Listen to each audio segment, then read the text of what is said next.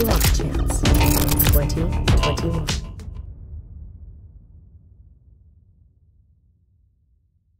I'm going to get you started because this is an exciting panel. We're going to start the day with a bang. Our lineup of speakers in our first panel is quite impressive, as you will see. I'm really excited to introduce you today to Marc Buckley. I met Marc at Blockchance 2019, uh, and I have come to really admire him, his brain, and his generous nature. His list of experiences and accomplishments could literally fill a book. However, when I met him prior to today uh, to discuss his introduction, he boiled a lifetime of achievements down to three words environmentalist, ecological economist, and regenerative futurist. I'd like to add that he is an all around good human being. He also has experience with being a hologram, as I just saw him as a hologram in the Gasometer ex uh, exhibition in um, Oberhausen called Das zerbrechliche Paradies. It's a really cool exhibit. If you're spending some time in Germany, check that out. Here to talk to us about the regenerative platform business models and to enlighten us on what the success models are for what will be game changers to put us on the right side of history. Please help me welcome the warmest of welcomes to Marc Buckley. Thank you, Holly. Holly is most kind with her introduction, and she is also a wonderful person. So we are in 2021 at the end where we've hit December. We, we've made it. Take a deep sigh and a breath. But we're just getting going. We're just getting started. I want you to all know I'm so thankful for those of you who made it here today. Last night there was partying going on until the wee hours of the morning. Um, enjoying Hamburg, enjoying after hours. And those of you who made it here today, this early morning session tells me that you want to change the future, you want to learn about new models for life, and that you're really concerned about how we move forward. Um, this block chance theme is blockchain for a positive, sustainable future. So let's keep that in mind, and I'm going to touch upon many things why that is. Um, I'm glad I'm speaking on the last day. Last time I spoke on the first day, the first session, right after Holly's bid art. I want you to know that I've looked at all the expo booths. I've talked to most of the attendees of the Blockchance, and I've been with them in the after parties and the lunches and the meetings. And I want you to know that I have not seen one single person with a Sustainable Development Goal pin. I have not seen one single booth with the Sustainable Development Goals on it. I have not seen a single person mention that. It's in their business model, in their business plan. And I have to apologize because the United Nations, who I represent, fucked up. We presented the Sustainable Development Goals to you wrong. We presented them linear, very colorful, from 1 to 17, laid out linear and lateral. People are like, who are these for? Are they for me? Are they for cities? Are they for countries? Who are they for? And if they do know what they're about, they say, oh, I'm working on number one, red. That's my favorite color, no poverty. That's the one I'm working on. And I say, great. But did you know it is virtually impossible to work on one sustainable development goal and not touch on all the others. They are a system, they are tied together as a system. But I want to go even a step further. Did you know they are the world's first historical precedents? Historical precedents for the first time in human history.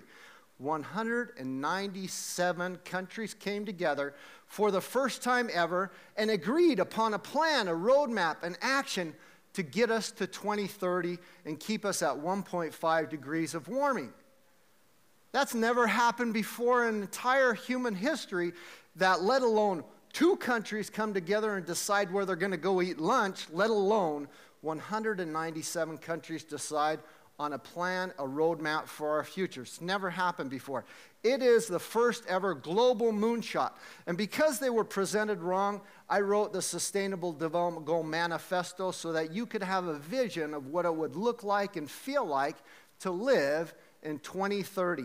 I'm not going to read that now. The only reason this was not part of my talk, the reason I'm bringing it up is we are, have eight years left to achieve the Sustainable Development Goals Nobody's talking about them. Nobody's working on them. Nobody has them in their business models.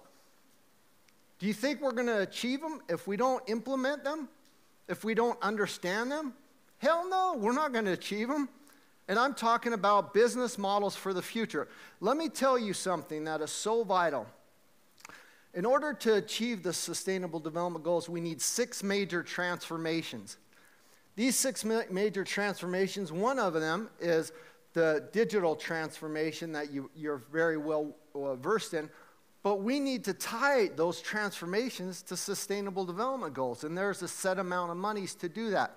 So I've harped enough on that. I just want you to know if you haven't do it, done it, get on the ball. Otherwise, don't complain, bitch, or moan when we hit 2030 and the world doesn't look like you want to look, have it look like, or your business doesn't look like it, like it should. I want to start off with three questions. What is your why? Some of you might know what a why is. It started from Simon Sinek. Ask yourself this to yourself. You don't even need to shout it out. The second question is what does a world that works for everyone look like for you? And the last question is before this decade is out, I will do what? What will you do by December 2030? Before this decade is out, what will you do? So, if anybody's heard the saying, um, this, this very small coronavirus has, has got us all wearing masks today. It's probably made some people not want to come, some people not come to the event. But there's this other saying if you've ever tried to sleep in a room with a mosquito, you know that it doesn't matter how big you ha- are, what size you are, to make a difference. And the coronavirus is the third, the red here on the bottom, and that's the human hair on the far right. And you see in the middle there a dust particle that's kind of brown and fuzzy. I want to go um, just one step further, and that is a dust particle, a small coronavirus, can disrupt not just the room in your life and be small enough to impact the entire world and change everything from economic models to the way we function and work and interact with each other, but it does it beyond our bedrooms, beyond our cities. It does it globally. It's disrupted us. And so I want you to think about size and the impact that you can have on the world by you being here, by implementing the right models you can have amazing success. We are all stardust. Have you ever heard that before? We are all made up of the basic elements of life oxygen, carbon, hydrogen, nitrogen. Those are the basic elements of life, and we're all made up of that. My hero, he's passed away, Carl Sagan, said, The nitrogen in our DNA, the calcium in our teeth, the iron in our blood, the carbon in our apple pies were made in the interiors of collapsing stars. We are all made of star stuff.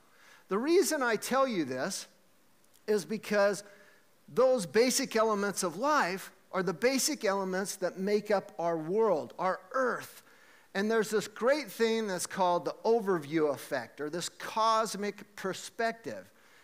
And if you look at the world from outer space, the earth from outer space, about only 600 people to, to date, maybe 550, have seen this live from outer space. The rest haven't seen it live from outer space, so they don't have this feeling, but we get it through pictures, we get it through videos, we get it through satellite images, we get it from drones, this kind of feeling sometimes for those of us who haven't been to space. But it has a profound effect on humanity to say, this is our only home, our only place, our one home, and we're all global citizens and we're all on the same spaceship Earth. We're all crew members. And so, as an environmentalist, as an activist, but also as someone uh, involved in innovation and technology in the future, I, I look at this image a lot, but this is shown in the environmental climate movement quite a bit. You know why? Because they want to show you that there's no nations, borders, divisions of humanity one from another, that we're all on this spaceship Earth together. I show this to you for two different reasons, two very important reasons.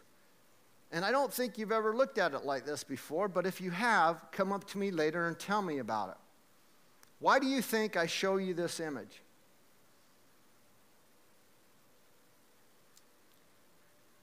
First, because I want you to realize you're that star stuff that ma- makes up this planet, and you crawled out of the primordial soup of this planet, from the elements of this planet. You weren't dropped off on some spaceship Germany, here in Germany, planted on this earth. You crawled out of this earth from your mother, most likely, but our original beginnings came from this primordial soup. Secondly, I show this to you because this has a meaning. How do we have this image? We have it because it's sheer innovation. Had we not gone to the moon, had we not had John F. Kennedy not went before Congress and said, before this decade is out, we're going to put men on the moon. And he had less than 10 years to do that, and he made it happen. We're at that same point in time in our world that we have less than 10 years left, eight years left to reach the Paris Agreement. Before this decade is out, are we going to save humanity? Because the earth will be fine. Are we going to save humanity's future and how we live? Or are we going to go from face mask to gas mask? I show you this image because it's sheer innovation. Had we not gone to space, we wouldn't even know about all this stuff. We wouldn't have looked back at Earth by accident. This is sheer computing power, technology, emerging technologies that didn't exist when John F. Kennedy says, We're going to put people on the moon. And in, within that time frame, what did they develop? Everything to get us to the moon, to get us this image. Every single moment of our day, every second, we have satellites and data giving us the heartbeat, the pulse of our earth. This is sheer innovation. That's what that image is. It's not some tree hugger or some environmental activist. It's sheer innovation. And why are we here talking about blockchain? It's an emerging technology, it's innovation. It can change our world, it can make a transformation. But I need you to look at it right, and I need you to understand the big picture, the cosmic perspective, and the model behind how the world really works. This is a timeline of our, of our Earth birth. It's a centric timeline. that starts at Earth birth and goes until today. On the far left, you see bacteria those basic elements of life went from that to bacteria. And from bacteria to today, we still have microorganisms and bacteria on our planet. But that's how life on Earth began a single celled organism that went to a nucleated cell. And then you see this timeline shift across to the present day moment, and you see these little pockets. Those are mass extinctions. We've had five of them.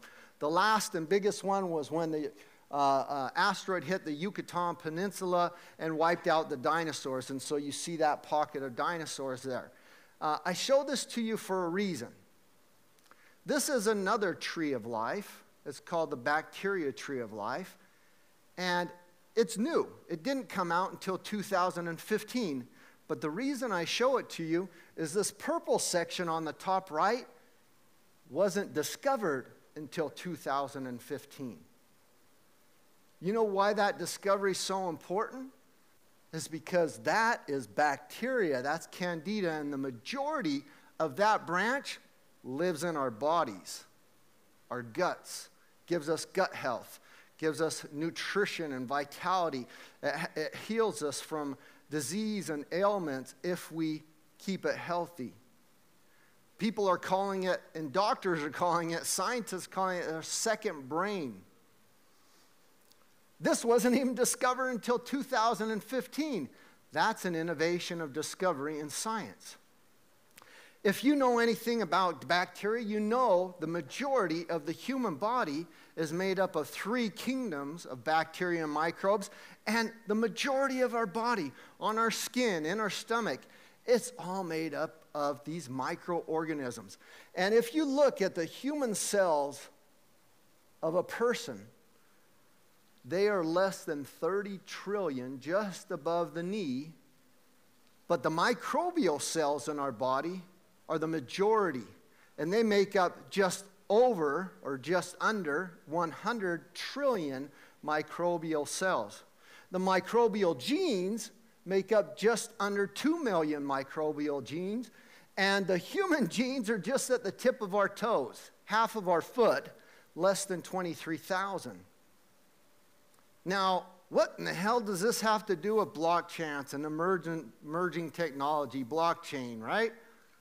Well, it has to do everything because we are an ecosystem. Our bodies are an ecosystem.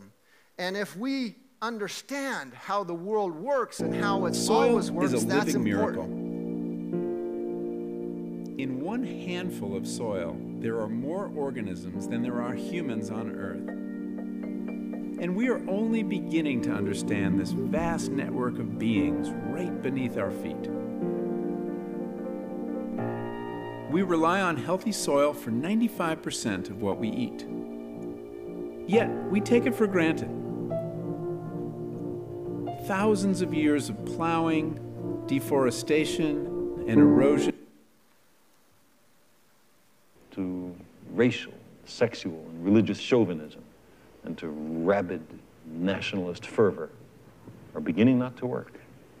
A new consciousness is developing which sees the earth as a single organism and recognizes that an organism at war with itself is doomed.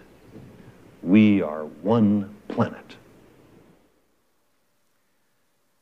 So, the reason I show you those two things is in one handful of soil, there's more microorganisms than there are human beings on our planet. Billions more than there are human beings on our planet. The second video was Carl Sagan, who had that quote that I read in the beginning, and he said, There's this new consciousness developing that sees the earth as a single organism. An organism divided amongst itself is doomed. That's why nations and borders and, and models for organizations and how we build up our companies and do business and work continue to fail. We've operated on some models in the history of humanity that keep repeating themselves. Not only do we have 10 now hominid ancestors, Homo erectus, Homo neanderthal, that are no longer here, 10 others besides Homo sapiens. So there's 11 in total. We're the 11th that's still here. Those other 10 aren't here. That's brought up a lot. But did you know that there's more than 21 civilization frameworks, early antiquity, Mesopotamia, Incas, Aztecs, Mayas, the Greeks, the Romans, those are civilizations just a few thousand years ago. They're also not here anymore.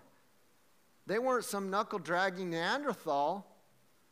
They were pretty advanced. They had roads and infrastructure. They had innovations. They had flowing water. They had structures. But why aren't they here anymore?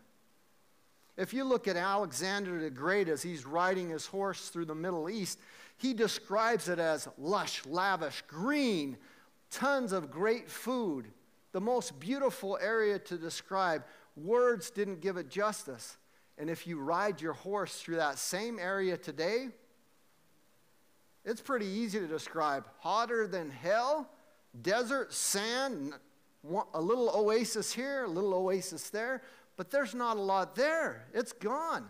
All these civilization frameworks collapsed, all of them, and, and 18 of them collapse because of ecological or environmental collapse, which ties to infrastructure, to food, to basic resources. That's why they collapsed. And the other ones collapsed because of displacement, conflict, fight between nations and humanity. So, my title of this talk is Regeneration A World That Works for Everyone, because we want to look at models for our businesses, for society, for humanity that work. What the word regenerative means creating conditions conducive for life, continuously renewing itself to transcend into new forms and flourish amid ever changing life conditions. What is an organism? Something that's continually moving, changing, growing, exponentially evolving. And that's what an organization is a business, a company, whether it's a nonprofit, whether it's for profit, whether it's public, whether it's private. The, the word organization comes from that basic word where we come from. I'm sorry you weren't giving, given an operating manual for this spaceship Earth when you were born. Okay, now this is how you have children, this is how you live, this is how you conduct. But our Buckminster Fuller in 1969 published this book, The Operating Manual for Spaceship Earth. And the reason I show it to you is because it's pretty phenomenal. Now, I started with those three questions, and one of them was why. This is the inside cover of those books that I just showed you. On the inside cover, on the top left, um, he wrote his why down in 1969. I want to read it to you. To make the world work for 100% of humanity in the shortest possible time through spontaneous cooperation without ecological offense or disadvantage to anyone. Amazing. He knew his why. He knew a Simon Sinek before Simon Sinek probably was even born. And it was one for the entire world. This is Imaginal Cells book. This is Kim Polman. I only show that to you because this next video that I sh- want to show you has to do with the transform- transformative state that humanity is in now and how we can emerge with better models for the future. Around the world, people are waking up. They know we need change, and not just at the edges. We need to change our systems, not just our straws. But the question remains how does change happen? In the face of these mounting crises, it can feel hopeless but it shouldn't. Because there is a blueprint for change, buried deep in nature. It's a story of transformation, encoded at the deepest level of being the imaginal cell. A cell that contains within it a vision of something new, of something better. The caterpillar, while alive, consumes. But this cannot go on forever. Everything has an end. Everything has a tipping point all that is left is decay. But from this place of darkness, something new can be born. At first, the caterpillar fights this new presence, seeing it as a threat, clinging to its old form. But the imaginal cells persist in spite of this. They begin to emit a common frequency. They cluster. They form collectives until eventually they reach a critical mass. They can no longer be opposed. In time, the old yields to the new, and something beautiful emerges. So know this the future is not foreclosed. Alternative worlds are possible. A world where hope matters more than despair. A world where care matters more than profit. A world where solidarity matters more than self interest. Change can happen, and change is coming. Are you in? I'm definitely in, this says treat others and the planet as you wish to be treated. That's the golden rule. It's been around since humanity's been around. If we work in symbiosis with our world, with our planet, it's a better business model. It's also um, interesting. This is Lynn Margulis. She was Carl Sagan, who I've talked about a couple times now, his first wife.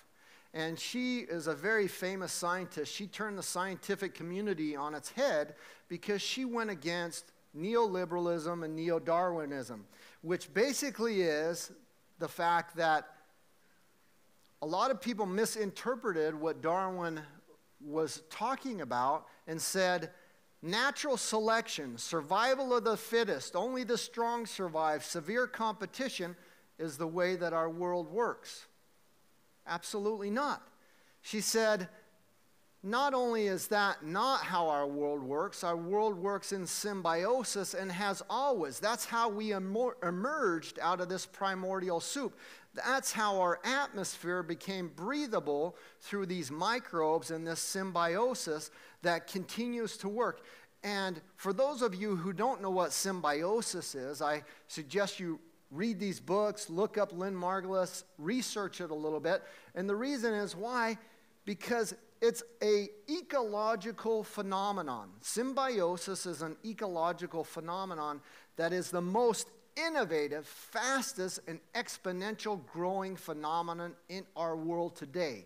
When we adapt it, when we put it into our business models, our lifestyle, and we get into harmony with nature and our environment, we thrive, we flourish, the air's better, our world's better, our food's better. We live in abundance because we are living in a non extractive economy. We are supporting nature to restore and regenerate. It's a different model. Happen. And suddenly, everything changes. Take transport. Horses were the main way of getting around for thousands of years. Carriages got better, and their use spread, but the transport system remained the same. At the dawn of the 20th century, a convergence occurred that opened a window of extraordinary new possibilities. Innovations in steel and rubber production, the pneumatic tire, the combustion engine, made possible an affordable and functioning car. But there were huge barriers. Early cars were expensive and unreliable. There were no paved roads, no supply chains or mechanics, no manufacturing capacity, and few oil wells or refineries. Few people knew how to drive outside a few enthusiasts tinkering in their workshops. No one recognized the possibilities, least of all the horse and carriage industry, which dismissed early cars as a rich person's toy. But as costs and capabilities improved rapidly, the niche expanded through a self-reinforcing cycle of increasing demand and economies of scale, cost reductions, increasing investment, and accelerating innovation. The invention of the moving production line in car finance made cars even more affordable. The horse and carriage industry could not compete. Their deep expertise in the old system, their inability to see beyond their narrow lens, was their greatest liability. It's why disruptors always come from outside the incumbency. By the time the establishment realized what was happening, it was too late. The S-curve had overtaken them. Within 20 years, they were destroyed by a death spiral of dwindling demand, escalating costs, plummeting investment, and reversing economies of scale. Cars could go faster, further, carry more load, and created new market opportunities far beyond the niche of the horse. Cascading impacts were unleashed that changed everything. The transport industry was transformed, but so too were agriculture, retail, and mining, where we lived and worked, the structure of our cities, Cars transformed war, health, geopolitics, and the environment. They created previously unthinkable possibilities, both good and bad. This is our secret, a lens that reveals what goes on beneath the surface, where the complex forces that drive the patterns of change play out. Predicting the future based on past trends can help in times of stability. But in periods of rapid change, it can lead to big mistakes. That's because disruption isn't a straight line. It comes with rapid change and sweeping, far-reaching consequences that can transform entire industries in a handful of years. Who would have thought the smartphone could disrupt the oil industry? But that's what's so fascinating about disruption. It's not limited to technology, but has the power to change society at large, even civilization itself. It's time for us to rethink so I showed you that for an important reason because it's the quickest way I can tell you how we make transformations and how innovation and emerging technologies play into that. And it was only one example, even though it tickled on a few others. in the automotive industry. As you know, the biggest disruptor was Henry Ford in the production line, right? But when he finished that wonderful innovation, he still have, didn't have gas stations. He didn't have people who got a driver's license or learned how to drive. He still didn't have roads to drive his cars on. So there was a lot of limitation. So what did he need? Well, he needed the Rockefellers and many others to build the infrastructure. What are the sustainable development goals? They're a sustainable infrastructure. What is resilience? What is regenerative models? They're an infrastructure for your model, for your operation to drive on, to flow in, to transform society, to transform the future exponentially. So, yes, we might be doing emerging technologies. We might be using blockchain. We might be using AI. We might be using machine learning and these things.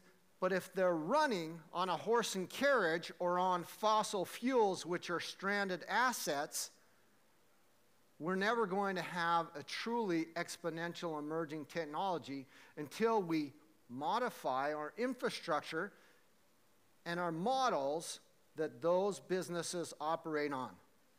No matter how innovative and cool Tesla cars are and the Model X, he still had to build, Elon Musk still had to build a, um, a charging station infrastructure. He had to do the renewable energy transition. He had to build the gigafactories. He had to build the batteries. He had to address the insurance companies and the banking and the leasing and the whole infrastructure, or he had to rely on other people to help him to do that. Regeneration isn't just a new thing. A lot of people think it's a buzzword. It's actually been around for a long time. The first scientist in humanity in humanity to really, that's well known, to write and draw about it as Leonardo da Vinci. But in the last five years, we've been hearing a lot of hype, and when people have asked me a lot to speak on regeneration, they always think because I come from an agriculture, a food, and a farming background that I'm going to speak on regenerative agriculture. I want you to know it's a new economic model, it's a new model for life and business, period because it's one that restores and regenerates and works in symbiosis and harmony with nature. Now, this is not esoteric or tree hugger stuff. This is real science. This is real business. And there is a way to integrate it into our models using emerging technologies to do it right. This is Paul Hawken. He wrote the book Drawdown, how, how the most comprehensive plan to draw down a world in global warming. And this is his book that just came out in September called re- regeneration. And he talks about these models and these transformations in our world that we can see, but they tie to systems thinking. And this is our planet. I, want to give you some examples. So, if you don't know about systems or how to think in this way, in what direction as an organization, there are five systems of our Earth, our Earth systems hydrosphere, atmosphere, cryosphere, biosphere. All Five of them work gooey or independent of each other. But as you remember, we had an ozone layer leak. We fixed that to a certain extent, but the other four systems did not control our ozone layer, our atmosphere. They all work independently, but if one breaks down, the other four try to compensate to heal that one. Let me give you one other example. Our body has 11 systems. They all work independently. There's not one of these 11 systems that controls the other 10. But if one of them breaks down, you break a bone or you have a nervous system disorder, the other 10 try to compensate so that you don't die, you don't, maybe you become disabled or you get sick for a while. But they all work gooey in harmony together. These systems, one doesn't control the other. There is a model a structure how the world works. And this is really system science. This is Fritjof Capra. He wrote a few books, very famous, Tao of Physics, but a, a course book called The Systems View of Life. And he teaches systems thinking and systems science, systemic thinking. This is a business Canva, which most of you know, which was pretty big about eight, ten years ago one page business Canva value pr- uh, prospect with a systems dynamic model overlaid on the top of it on how it really works, which you can run out thousands of scenarios. Now, I'm here to tell you the future, and you'll, a lot of you will know this, especially the techno, uh, technology savvy and programmers and developers. Platform models are fabulous. In innovation and technology and developing, they've been used for a long time. And most of the big companies that are successful use a platform model. But did you know you can use a regenerative platform systems dynamic model, and then you have a model that works in symbiosis, that works the way the world works regeneratively? Um, I, I kind of want to skip through some of this regenerative economy and, and how um, the world works with this new model. It's no longer linear, it's no longer siloed, it's systemic, the way the world really works, because we address all facets of global grand challenges, of all problems in our world, instead of just saying, oh, we're only going to address the siloed facet here and hope that it gets solved. In 2018, all international organizations realized that the only way to solve, sorry, only way to solve global grand challenges was through a systemic approach. Human suffering and global grand challenges can only be solved through systems approach, not a siloed or linear approach. We all feel on edge because that's exactly where we are. But there is hope. Right now, technologies are converging deep in the foundations of our civilization.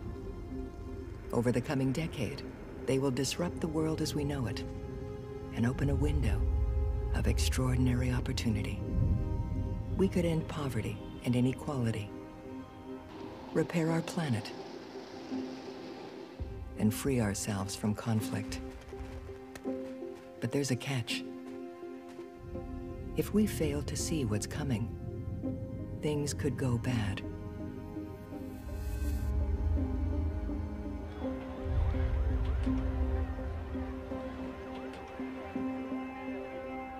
At RethinkX, we've developed a lens to see what's really happening. Change doesn't travel in a straight line. It ripples and cascades. After long periods of stability, big change happens fast. This is true in every system, from cells to industries, and even civilizations. Throughout history, every civilization has been built on the same five foundational sectors information, energy, transport, food, and materials. When technologies disrupt any of these, change ripples and cascades, challenging our rules, systems, and even our mindsets. Our ancestors developed leading civilizations by harnessing these disruptions, yet each breakthrough only allowed us to become more advanced at extracting scarce resources.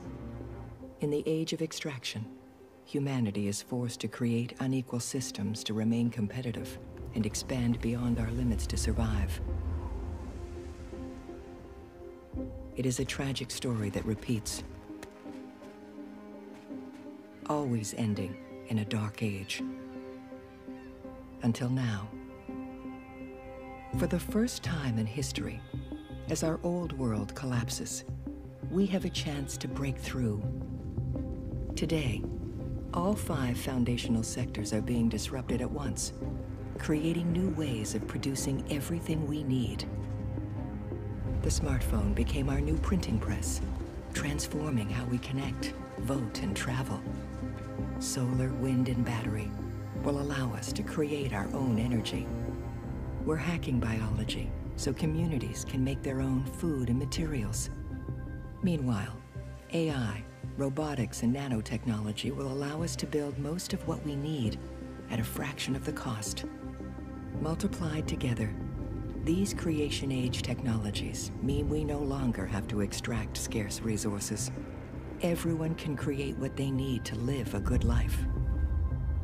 Exploitation and scarcity can be replaced by freedom and superabundance. But these new technologies will accelerate the collapse of the old.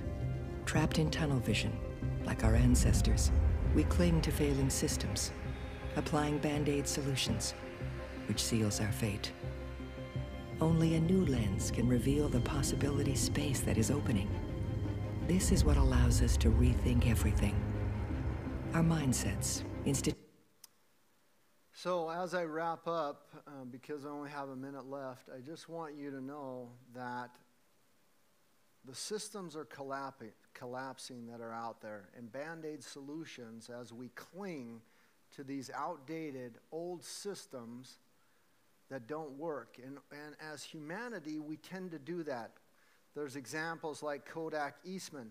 But I mentioned to you not only about the hominids and the civilization collapse, but there's been a framework, a model that up until now has been predominant. It's called the hierarchy model. It's in every civilization that's ever collapsed, every business model that has failed or has to be bailed out is based on a hierarchy model. Every single one. There is none that are regenerative and symbiosis other than when you look into nature. There's divided into classes of humanity one from another, and these are kind of humorous, you know, the top down mentality. I want you to know the world's first trillionaire will be a green entrepreneur oper- operating in symbiosis with a regenerative platform systems dynamic business model.